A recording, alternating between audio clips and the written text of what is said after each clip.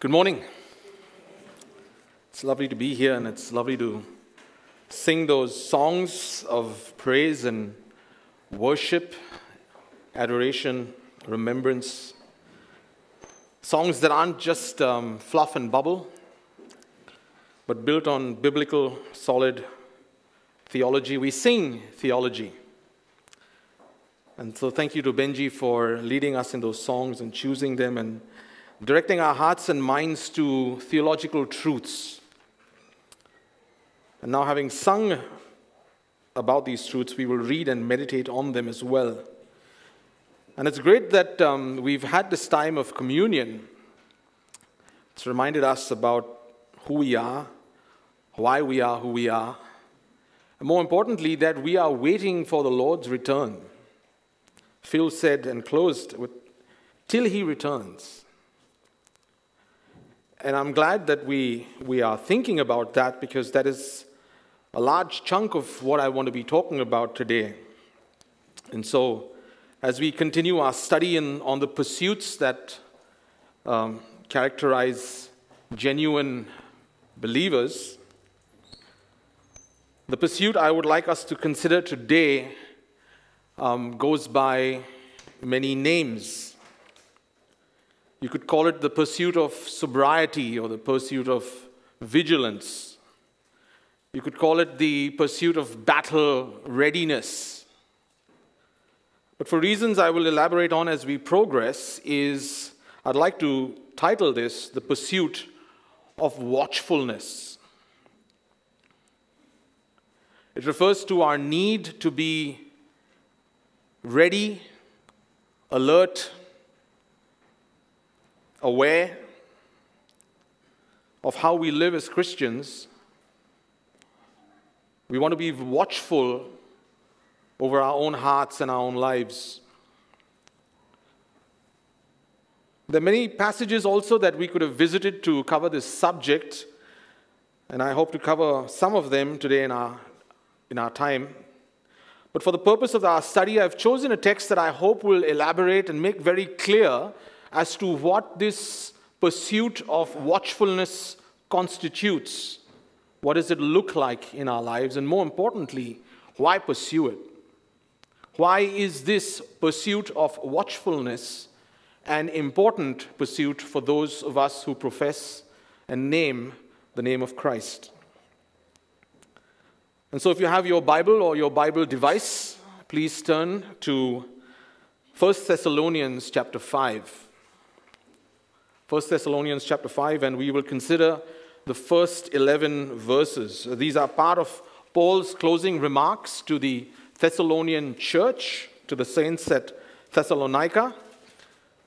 Please follow along as I read, and as you read, recognize, please, that this is God's true and inerrant word.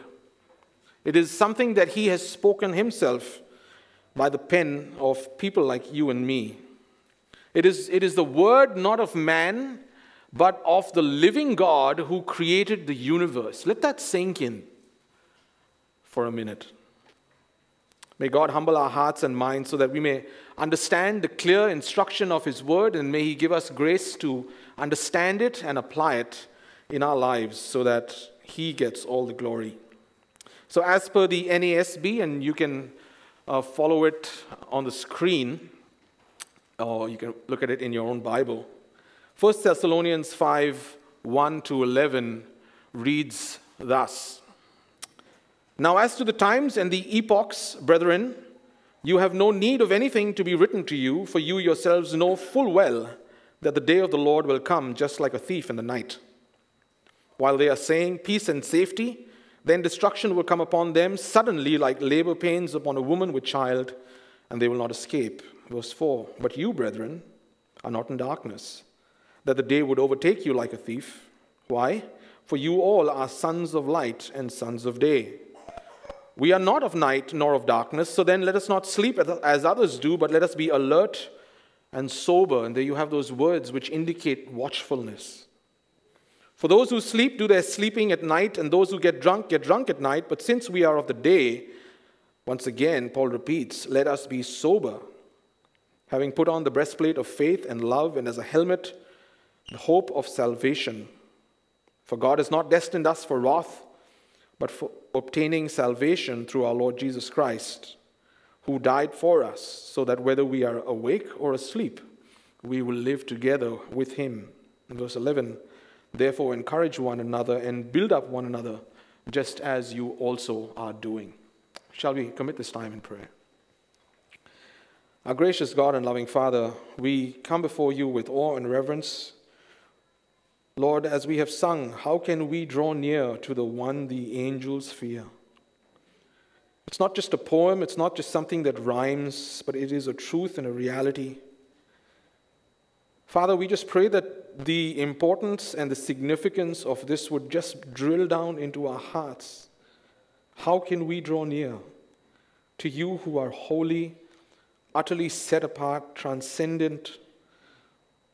Father God, we just pray that the awesomeness of who you are and the wretchedness of our own sinful state from which you have rescued us, Father, would really cause us to ponder and pause to recognize what you have done and therefore how we ought to live and therefore why we need to be watchful.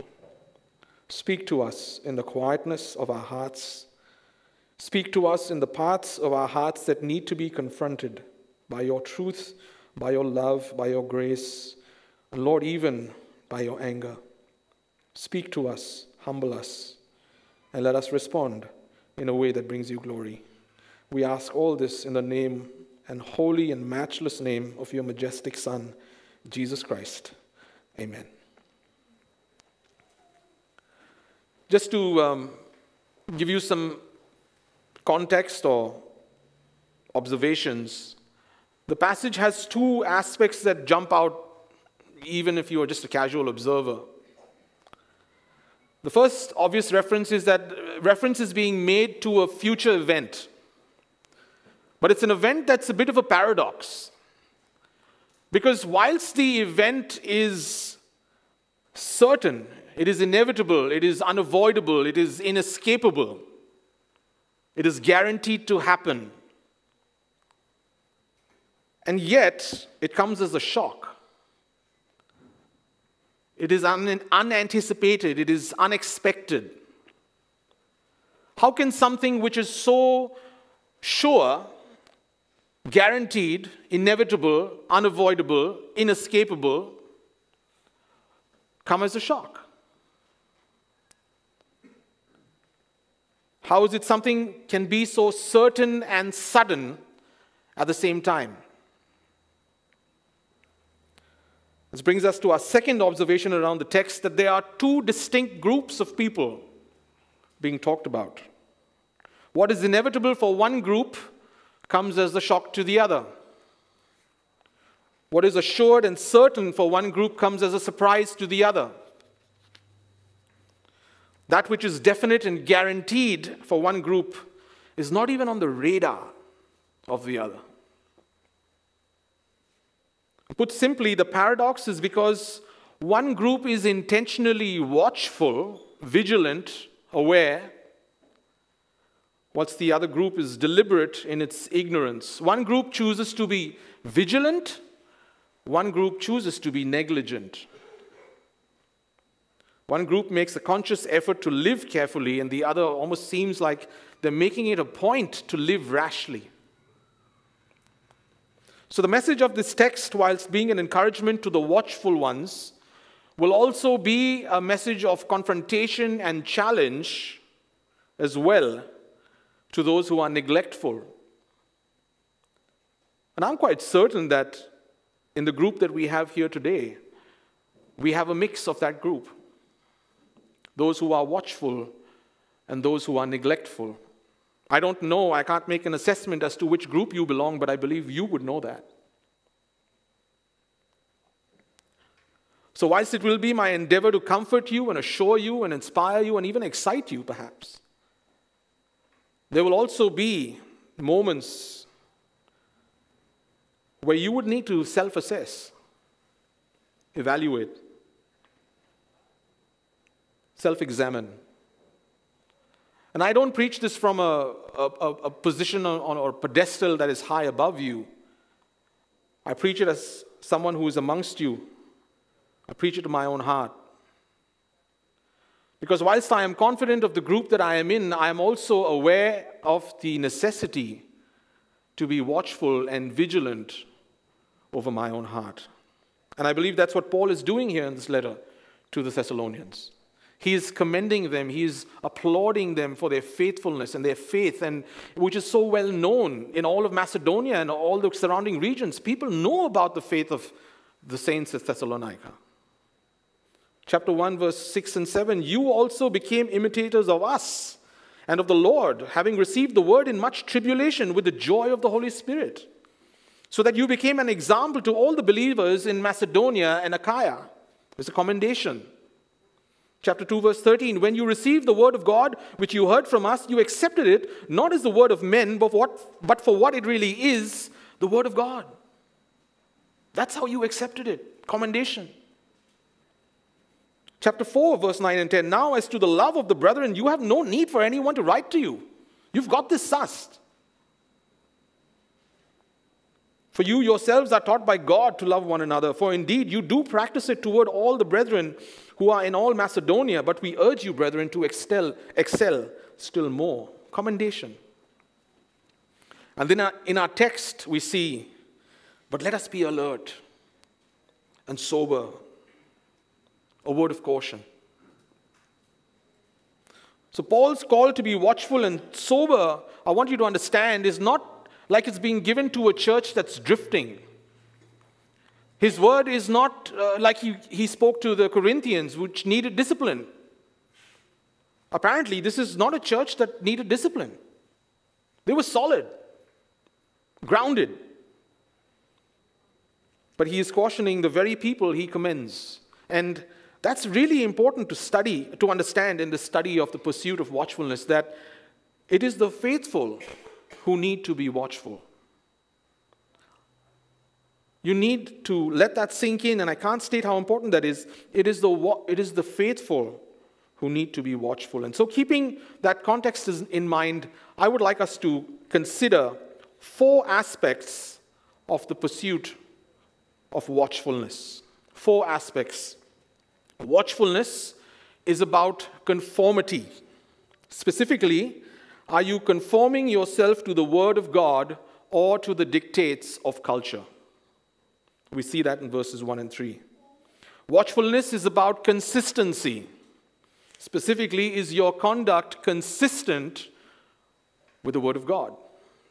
We see that verses 4 and 7. Is your, is your conduct consistent with your identity as a believer? Number three, watchfulness is about being combat ready. Specifically, are you aware that you are at war? Do you even know that? And if you do, are you appropriately armed? We see that in verse 8. And lastly, watchfulness is about confidence. Specifically, are you confident not just about the future, but about eternity? We see that in verses 9 and 10. We see there's a progression in Paul's argument from conformity to confidence because the more we conform to the Word of God, the more consistent our walk becomes with our identity as believers. The more consistent we become, the more battle ready, the more combat ready we are. And the more combat ready we are, the more confident we are. And so we need to really understand this idea and this aspect of conformity as being a part of, of watchfulness. And that's all we, we're going to be able to do, I'm afraid, this morning because there's much to say. And if God wills, I'm hopeful that we can address this uh, the next time I'm up here. But um, for now, let's get straight into our study with the first point. Uh, the watchfulness is about conformity. And if there's only one thing that you take away from this, let it be this that to be watchful as a believer, as a Christian, is to be scripturally aligned. To be watchful as a believer is to align your whole life to the Word and the truth of God. It is to be submissive to the authority of Holy Scripture. verse 1 to 3. Now, as to the times and the epochs, brethren, you have no need of anything to be written to you, for you yourselves know full well that the day of the Lord will come just like a thief in the night. While they are saying peace and safety, then destruction will come upon them suddenly, like labor pains upon a woman with child, and they will not escape. First of all, note the two groups being talked about. You have no need of anything to be told to you. They are saying peace and safety. Destruction will come upon them. They will not escape. There's a language of you and them. Two very clear groups. One group requires no further information to their own benefit about impending disaster. The other group seems completely clueless to their own peril. One group is catastrophe savvy, the other group is catastrophe sloppy. Their attitude is casual and even contemptuous. But the bottom line is this one group will escape the coming catastrophe, the other won't. What is this catastrophe? Paul calls it the day of the Lord. The Thessalonian Christians clearly were very familiar with this event because Paul says, You have no need for me to tell you about this.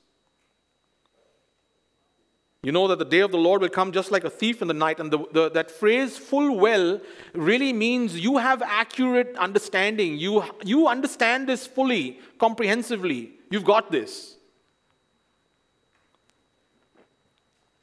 The day of the Lord will, will come as a thief in the night, and you know this. So, does that mean the day of the Lord is a nocturnal event? Is God a thief? No. He's basically saying the day of the Lord will come when people least expect it. As a thief arrives unexpectedly and unannounced and takes his victims completely by surprise, so too will the day of the Lord ambush a lot of people, catching them unawares and off guard. Why will it ambush them? Paul says, while they are saying peace and safety, then destruction will come upon them. What does that mean? While they are saying peace and safety. It means that these people are overtaken by calamity because they are so cocksure about their own invincibility. They are so convinced in their own minds of their own security, they believe that they have attained some sort of utopia or nirvana state that things really can't get better. I mean, I have nothing to worry about. They feel safe because they are resting on the laurels of human exploits in the fields of science and entertainment and philosophy and medicine and technology and politics and human affairs, and they just feel that they've just got it all covered. So, any talk of impending destruction is met with sneers and jeers and of derision, mockery, and scorn. This is the 21st century. Come on. Do you really, do you really believe in these myths and superstitions? Come on. Come on. I mean, man is thinking of colonizing the moon. He's planning to go to the moon, and you're just caught up in these fairy tales and folklore. Are you for real? While they are saying peace and safety, then destruction will come upon them suddenly, like labor pains upon a woman with child, and they will not escape. These are the people who don't think it's necessary to be watchful, so disaster will hit them at the time they feel most secure. And there's also another reason. There's also another reason, and, and that is false prophets. They will come and give people that the idea and lull, themselves, lull them into a false sense of security, give them, give them false assurances that everything is just fine. It's fine. What are you worried about? And this isn't a problem that's just in the future. If you look at the Old Testament, throughout the history of Israel, this has been a problem where God, through his prophets, is trying to caution and, and make aware the nation of, nations of Israel and Judah that impending destruction is at hand. And you have false prophets who come in into, and speak into the ear of the king and says, It's all good. Don't listen to Isaiah. Don't listen to Jeremiah. Who are these guys?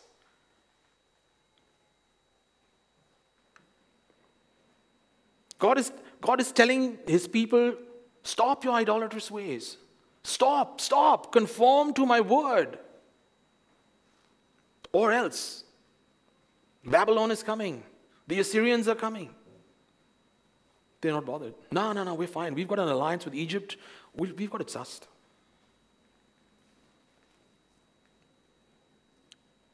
Jeremiah 6 13 and 14.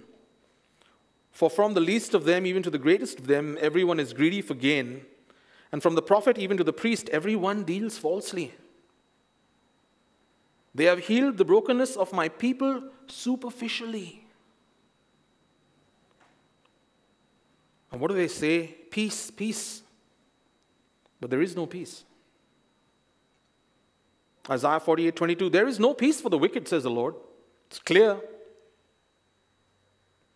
Ezekiel 13 Son of man, prophesy against the prophets of Israel who prophesy, and say to those who prophesy from their own inspiration.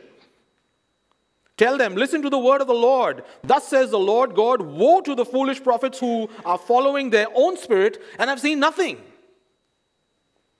O Israel, your prophets have been like foxes among ruins. It is definitely because they have misled my people by saying peace when there is no peace. In the Lord's day, people will be saying peace and safety. Because false prophets and others in authority are giving people false assurances and lulling them into a sense of false security.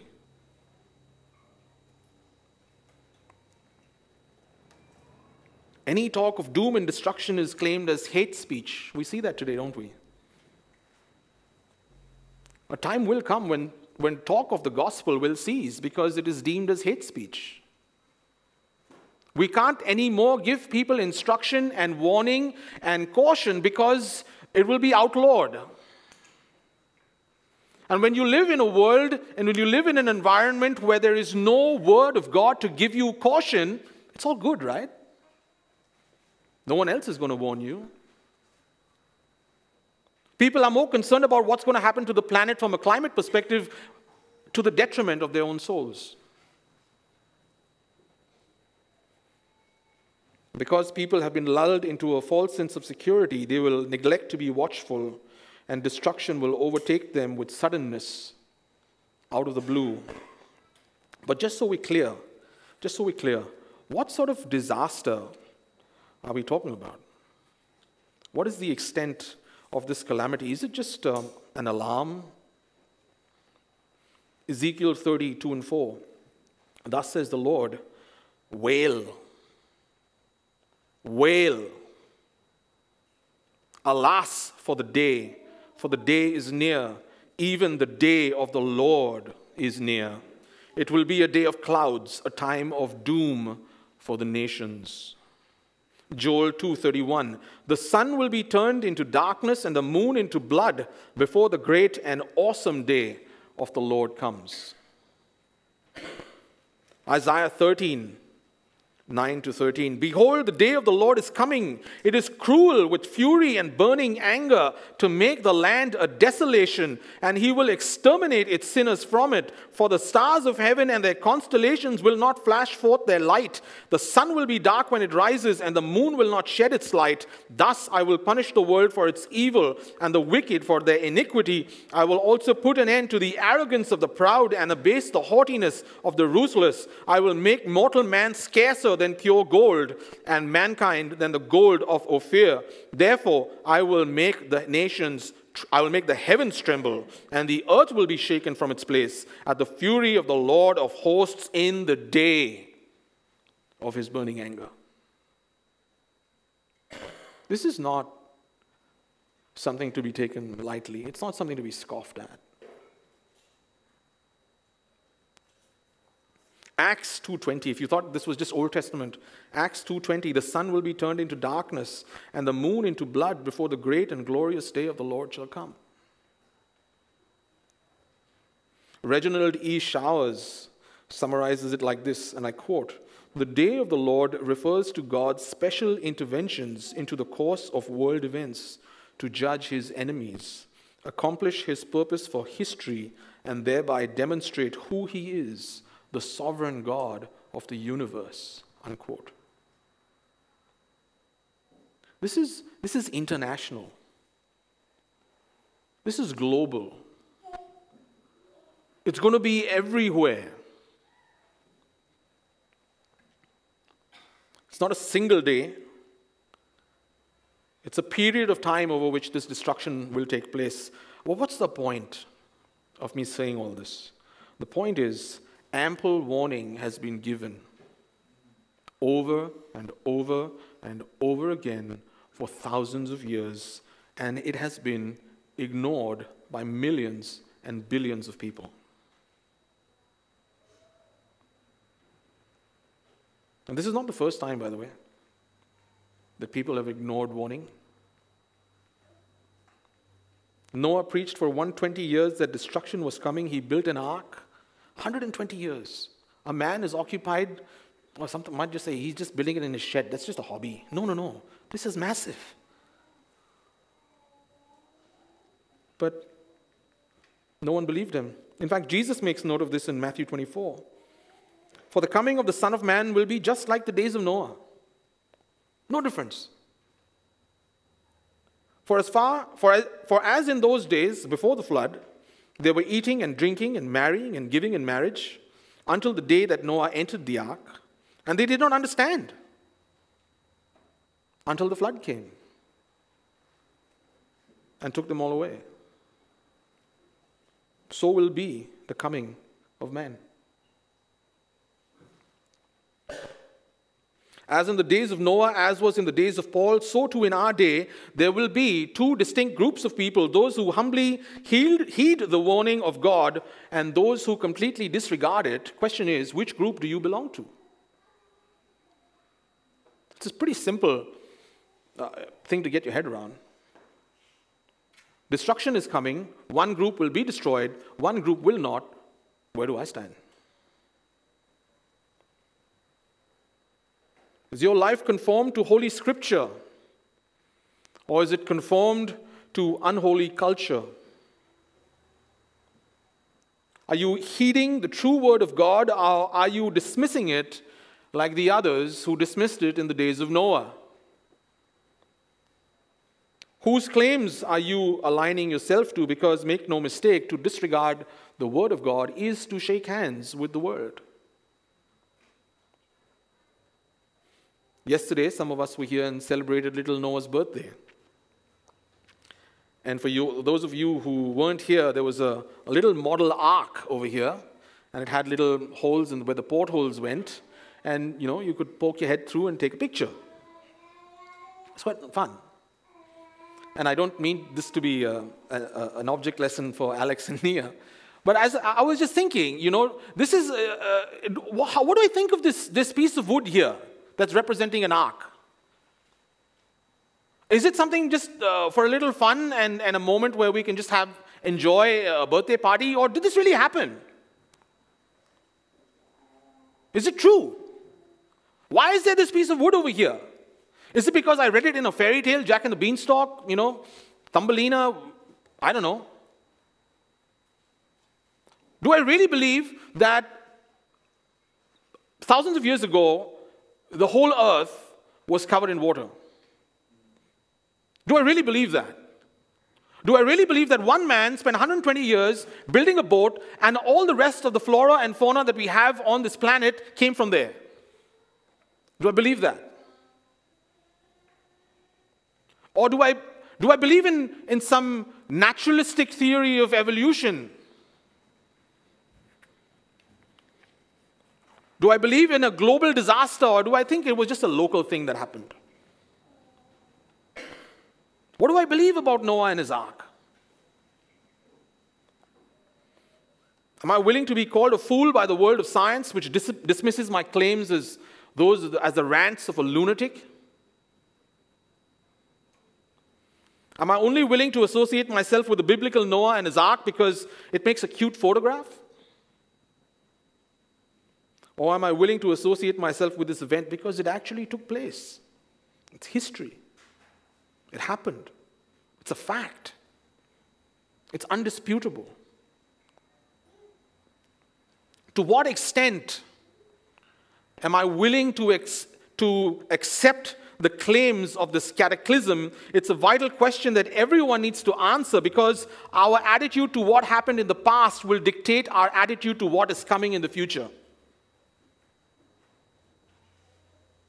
Are we terrified at the prospect of a flood that covers the highest mountain? Because if we are, then yes, we will be terrified of that fearful and wrathful day of the Lord. But if we treat the flood as, oh, I don't know, uh, I don't know, then you're going to be equally dismissive about the future. Turn with me to 2 Peter chapter 3, please. 2 Peter chapter 3, the, the, chapter 2, verse 7, we just want to read that. The apostle makes it very plain to us about why we need to take scripture seriously. It's very clear. 2 Peter chapter 3. Why is watchfulness about conformity to scripture? Peter makes it very clear. 2 Peter chapter 3, verse 2. You should remember the words spoken beforehand by the holy prophets. You should remember it. And the commandment of the Lord and Savior spoken by your apostles, know this. Know it. Please know it. Make a, make a mark of it, put a bookmark in there, underline it. Know this, first of all, that in the last days, mockers will come with their mocking, following after their own lusts. They'll say it's science, they'll say it's humanitarian, they'll give you all sorts of examples or all sorts of excuses, but the reason they are saying this is because they are following their own lusts and saying, Where is the promise of his coming? I mean, for ever since the fathers fell asleep, all continues just as it was from the beginning of creation. What are you talking about? All this doom and gloom? Uh, everything's just fine. It's continuing as before. But when they maintain this, it escapes their notice. Hang on, you're forgetting something.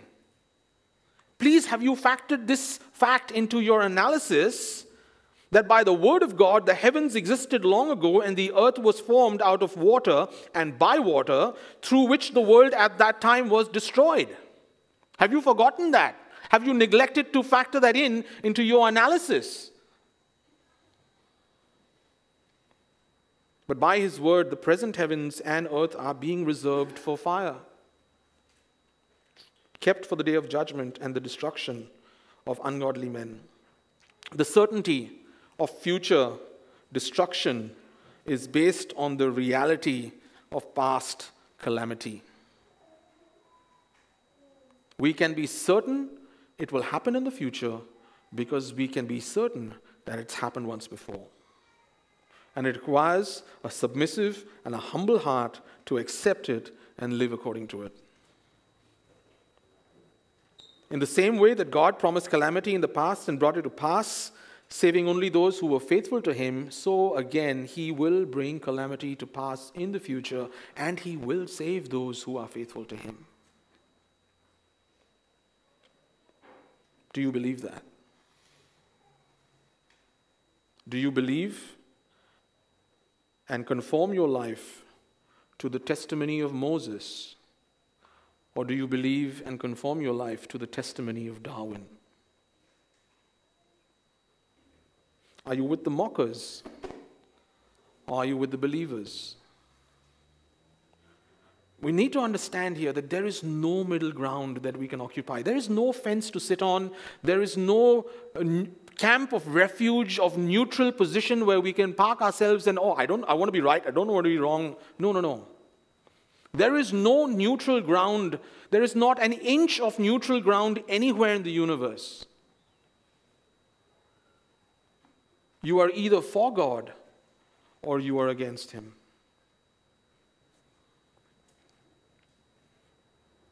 You have to take a call. You have to pick a side. You cannot think and delude yourself that you are just waiting to make a decision. Waiting to make a decision means you have made a decision.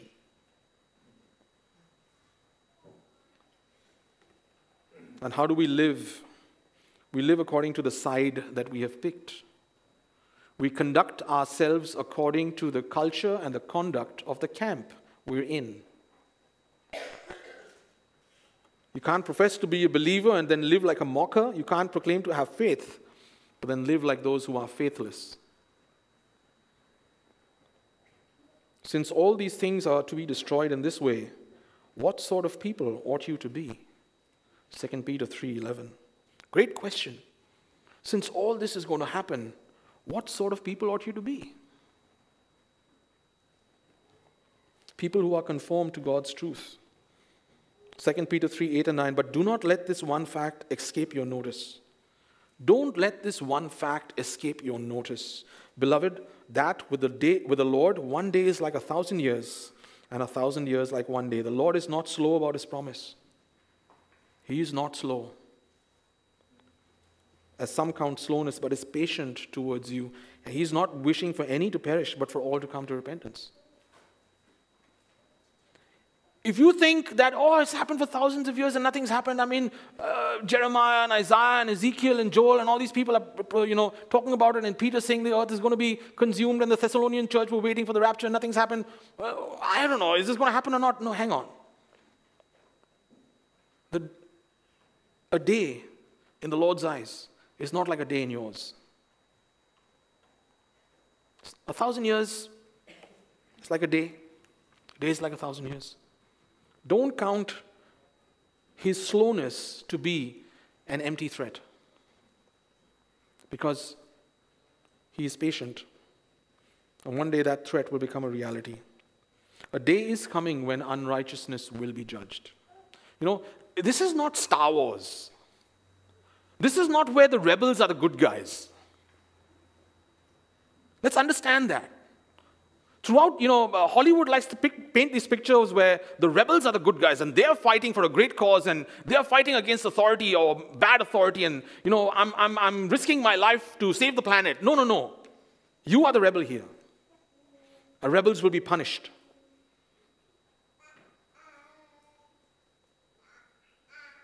The good guys are those who watch to ensure that the practice of their lives conforms to the preaching of Scripture. Are you a watchful Christian? Before I leave, I want to give you a word of comfort and encouragement. And if you're thinking and sitting down here in your seat and thinking, you know, is the day of the Lord meant for me? Let me assure you, the day of the Lord is not intended for believers, but for unbelievers. And how do I know this? And so read the text with me again, all the way to verse 5, if you have your Bibles. Now, as to the times and the epochs, brethren, you have no need of anything to be written to you, for you yourselves know full well that the day of the Lord will come just like a thief in the night. While they are saying peace and safety, then destruction will come upon them suddenly, like labor pains upon a woman with child, and they will not escape. But you, brethren, are not in darkness Someone says, Praise God for the buts in the Bible. Amen. But you, brethren, are not in darkness, that the day would overtake you like a thief, for you are all sons of light and sons of day. Amen. Praise God. The day of the Lord is intended only for those who do not confirm their lives to God's truth. It's clear. The, this day of wrath and fury and judgment is not for those who put their trust in Jesus Christ. Those who put their trust in him will escape. Why? Colossians 1:13. God has rescued us from the dominion of darkness and brought us into the kingdom of the son he loves. Those who are no longer in darkness will be saved. Today we sang, I come by the blood. I come by the cross, where your mercy flows from hands pierced for me.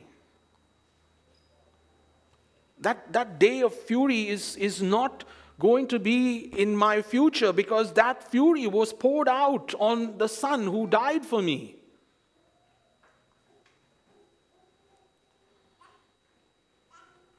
Paul also makes this very clear in, in the previous chapter, and just turn there turn there with me, if you will, to chapter 4, verse 13 onwards. Just uh, we want to just read this quickly. Um, but we do not want you to be uninformed, brethren. We do not want you to be uninformed about those who are asleep, so that you will not grieve as those who, as, as do the rest who have no hope. The, the, the Thessalonian church were, were, were waiting for Jesus to come again. You know, Paul went when he preached to them, and I'm sure he would have told them, the Lord is coming again. And so they were waiting. Oh, sure, the Lord's going to come. He's going to come. And so some people died before that. And they're thinking, oh, hang on. Uh, they've died before the Lord could come again. Is, are they going to share in his glory when he comes again? Or what's the, what's the deal here?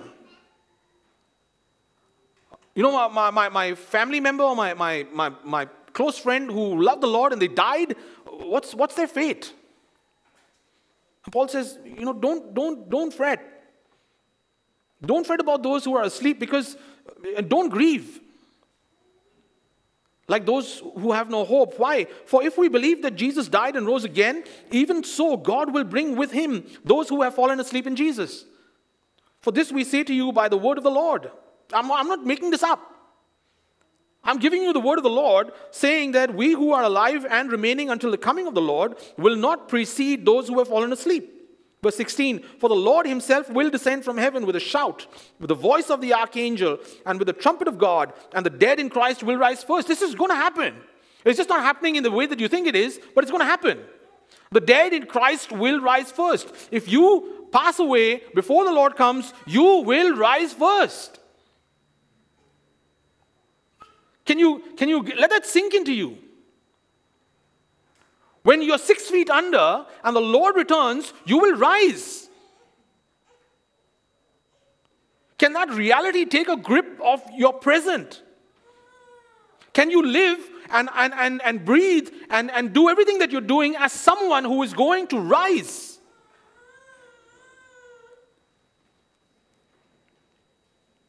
Then we who are alive and remain will be caught up together with them in the clouds to meet the Lord in the air, and so we shall always be with the Lord. Therefore, comfort one another with these words. Do you believe that? Is your life conformed to the truth of this text? Or do you think, oh, come on, oh yes, people, they're dead. They're dead. Dead is dead. Dead as doornails. Dead people don't rise. No, no, no, they do. Because Christ rose. And he rose as the first fruits of those who are going to follow. And he rose to be an example and to let us know and give us the assurance that in the same way that God raised him up from the dead, he will raise us too who are in him. Paul assures them that the believers who pass away before Christ's return will be equal participants in the glory that those have who are still living when Christ returns. And so this is an event intended only for believers, right? I mean, there's no evidence here that says that the unbelievers have any share in this. And so it's a separate event from the day of the Lord in chapter 5. And we know it's a separate event because in one uh, event they had all the information that they needed. And the other event, they needed to be told. It's separate, it's different. So clearly, Paul is talking about two separate events here. The first event is cause for hope and joy. And so we, we shall always be with the Lord. The second event is cause for fear and trepidation. While they are saying peace and safety, then destruction will come upon them suddenly, and they will not escape. The first event is about we and us. The second event is about they and them. We will meet the Lord in the clouds, but they will not escape. Two distinct occasions. One event is intended to rapture the faithful, caught away with the in the clouds. The other is a time of retribution for the faithless. Two different outcomes for two different groups of people. Again, question arises which group are we in? We have to ask that question. We have to. It would be foolish not to ask and not to answer. So I circle back to my original question Are you being watchful by conforming your life to the truth of God's word? Or are you being negligent by conforming your life to the lies of culture? When God's word says that you are a sinner who needs to be saved from your sins, do you believe Him? Do you believe that? Do you believe the things that we sang about and, and the table that we just shared in? Or do you just believe like the rest of the world and say, nah, nah sorry, not buying that, no deal? When God says that there's no salvation to be found outside of His Son, Jesus Christ, do you believe that? Or do you believe with the other religions and say, no, I think man can make it himself with his good deeds? I don't think Jesus is the only way. How can he be the only way? I don't believe God would be like that.